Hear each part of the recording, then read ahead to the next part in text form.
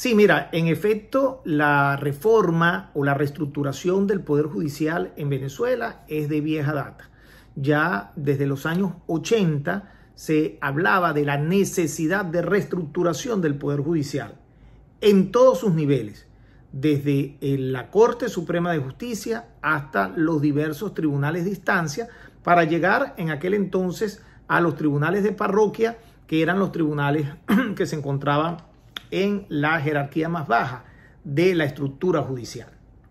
El Poder Judicial ya había sido sobrepasado por el crecimiento de la sociedad. Cuando la sociedad va creciendo, también van creciendo los conflictos, las complicaciones, los problemas. Y para ello la sociedad debe contar con una estructura judicial sólida que le permita, sin duda alguna, enfrentar esas diferencias, esas situaciones y puedan los ciudadanos seguir contando con el derecho como un mecanismo para resolver sus conflictos, evitando acudir a otros tipos de soluciones autónomas.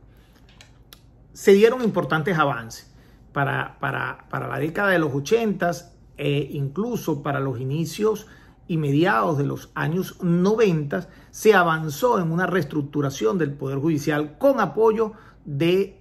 de recursos del Banco Mundial. Se crearon nuevas sedes de tribunales en el país, mucho más modernas, con tecnología de punta. Se avanzó en la tecnificación y, eh, y en la tecnología cibernética de los distintos tribunales del país. Incluso se hizo compra de sistemas integrados para el manejo de los expedientes en el Poder Judicial. Lamentablemente, como les dije al inicio, la sociedad va creciendo y con ella van creciendo los problemas. Eh, el Poder Judicial pasó entonces de ser un poder profesional a, una eh, instancia política del país donde los gobiernos de turno empezaron a ver la necesidad de controlar el poder judicial eh, como un mecanismo para poder eternizarse dentro de sus poderes o dentro de los regímenes. Y lamentablemente es lo que ha venido ocurriendo en Venezuela en los últimos años.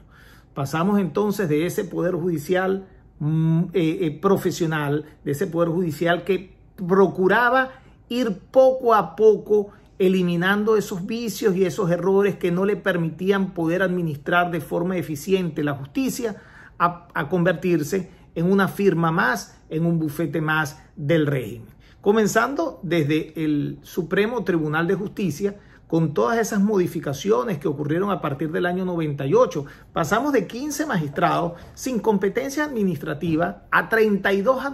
magistrados con competencias múltiples tanto en el área judicial como en el área administrativa. Hoy en día incluso hemos escuchado por parte del dictador eh, Nicolás Maduro la constitución de una comisión de reforma judicial integrada nada más y nada menos o presidida nada más y nada menos que por un prófugo de la justicia, eh, como lo es el señor Diosdado Cabello, por la señora Cilia Flores, esposa de otro prófugo de la justicia, y por una ex magistrada que perdió su condición de magistrado a partir del año 2017 cuando decidió subrogarse a una espuria Asamblea Nacional Constituyente. Con la reforma del Estado, con una futura reforma del Estado, si realmente queremos nosotros ver el desarrollo del país, es necesario pensar en la reestructuración plena del Poder Judicial, profesionalizándolo, actualizándolo en tecnología, eh, procurando sedes apropiadas y dignas para los administradores de justicia, de manera tal de poder garantizarle a los ciudadanos y a las ciudadanas del país mm, una administración de justicia consona con el avance de la sociedad.